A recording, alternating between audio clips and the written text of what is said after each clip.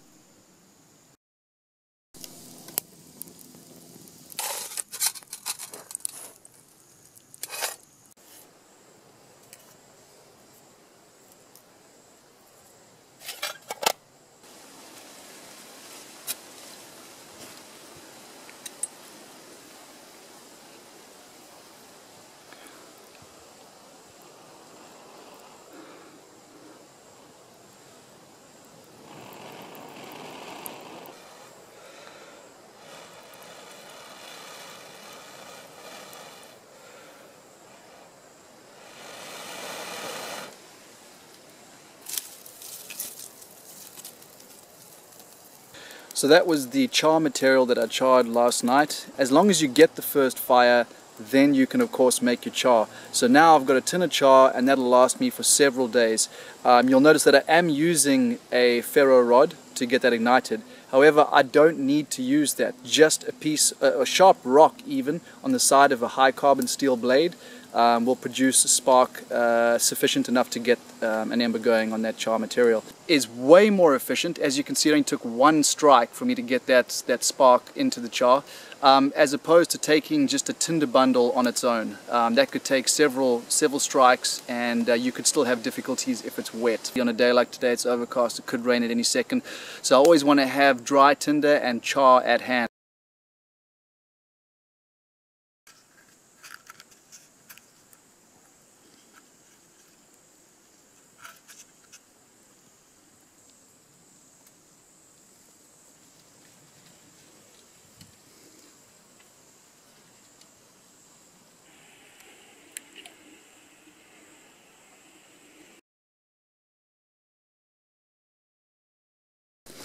Time to check on the lines. Oh, that one looks like it's got a bit of...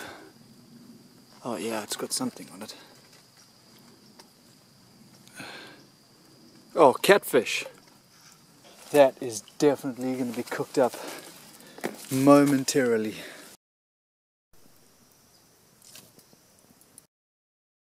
Just look at that slowly cooked, partially smoked Beautiful catfish.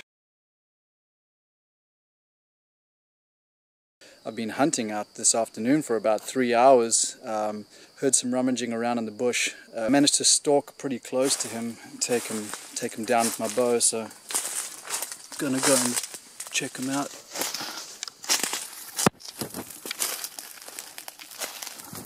There he is. Can't see my first arrow. but he died a pretty clean death.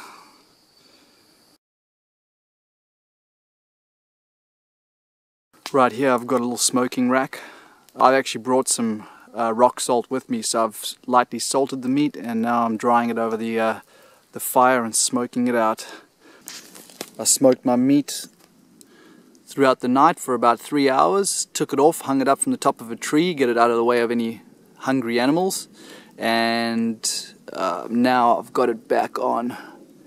You can see it's kind of really nice and dry on the outside layer. Look at this beautifully smoked raccoon meat. I cooked this up um, in a pot with some water, kind of like make a little stew, and uh, it's just unbelievable. It also tenderizes it a little bit because it's very tasty, but it's tough. Gosh, man, this weather is up and down. One day sunny, one day is overcast, one day is extremely windy, the next day looks like it's gonna rain. One night's warm, like too warm. One night's so cold and freezing. You just really don't know what you're getting um, here in wintertime in Florida.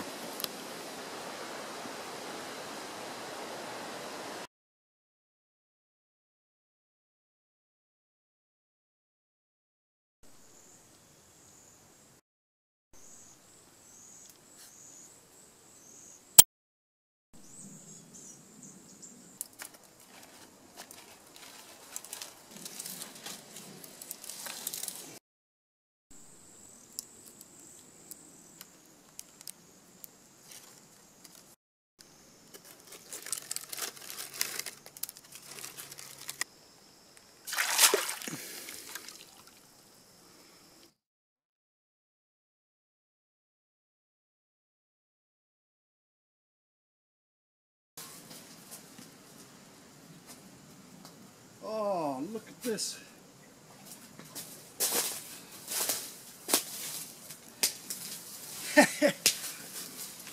look at that.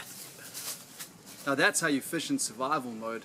It's just a piece of fishing line and a tiny hook.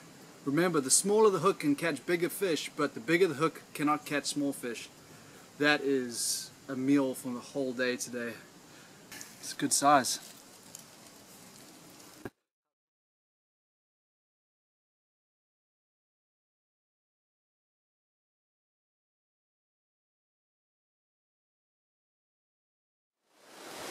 So I've got my fish over here. I'm going to put this on and start frying that soon. However, I just wanted to mention um, that something to carry, which is such a useful thing um, when you're planning on kind of harvesting all of your food off the land, um, is salt. I like to carry rock salt, and not only does it replenish your electrolytes, it's one of the key electrolytes um, to avoid things like hyponatremia and that, but it flavors your food and it stores food. If you manage to hunt or, or catch something that's it's a bit bigger than what you can eat in one sitting, then you can preserve it with salt.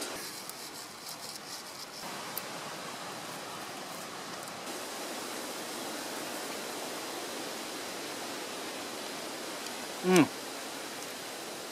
Largemouth bass, cooked to perfection. That was a big fish.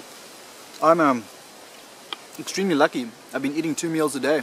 Um, I've been eating raccoon uh, two nights in a row. I've got raccoon for another four days because I smoked it. And if anyone ever offers to for you to try raccoon, don't say no. It is absolutely fantastic, especially the, with the fat.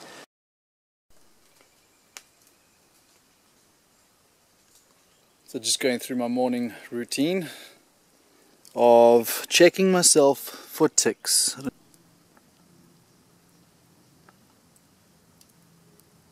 Most ticks here don't carry Lyme disease and it usually takes 24 hours for the bacteria to be fully released from the ticks anyway so I'd have to check myself every 12, 12 hours. So I got a squirrel this morning with my bow and arrow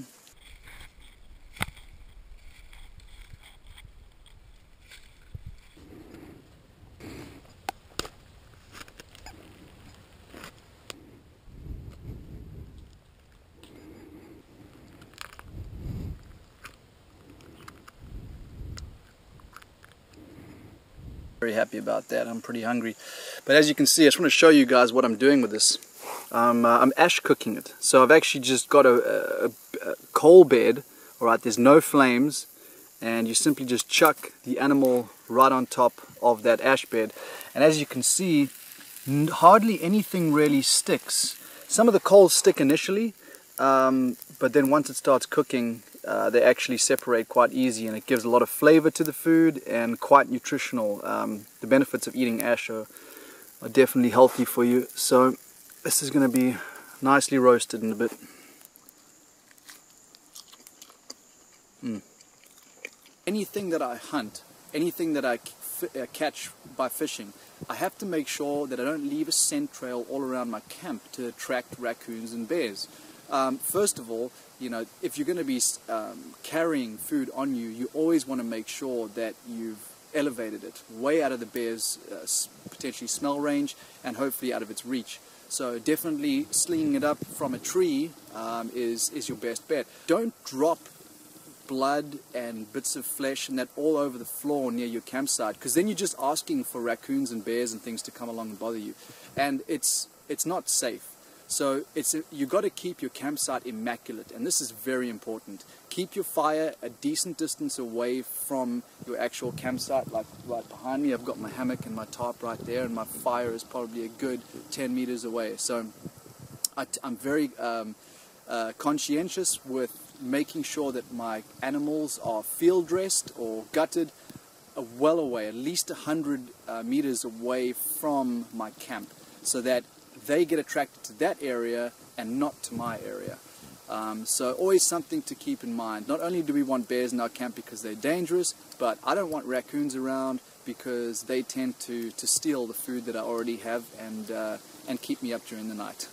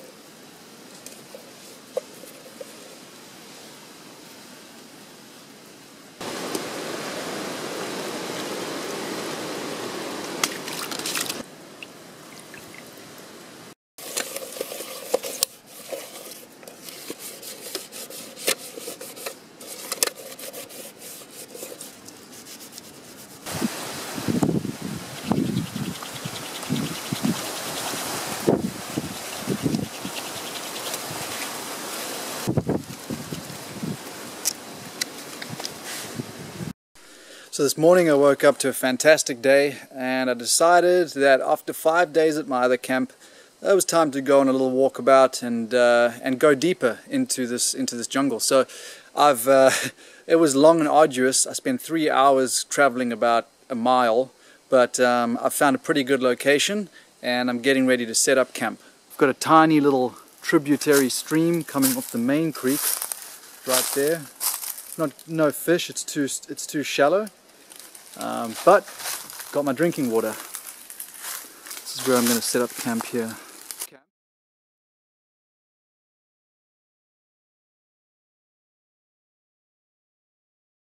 Why you pretty much don't want to sleep on the floor in the jungle.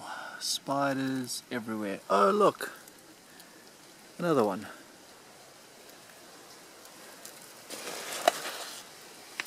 Oh look. Another one right next to that one. Gosh, man.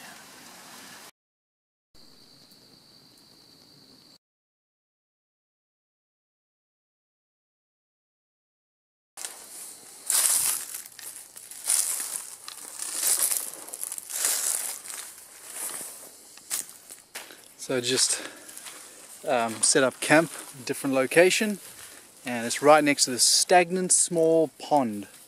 And it's funny, camping, camping near the river for the last nine days. Never saw a single gator. And now, in this little pond,